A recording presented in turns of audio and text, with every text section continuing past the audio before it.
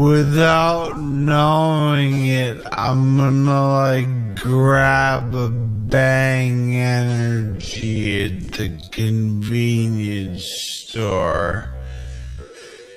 And I'll buy it and I'll get home and be like, what the f- whoa! What the fuck?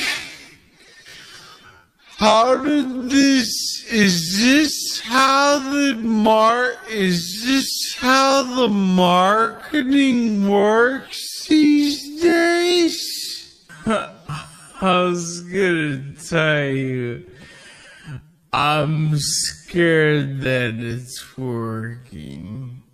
Yeah. Like, I like, honestly. Next thing you know, just both of us fucking sponsored by Bang in the next office. By Bang. Jacked up on Bang energy drinks and I'll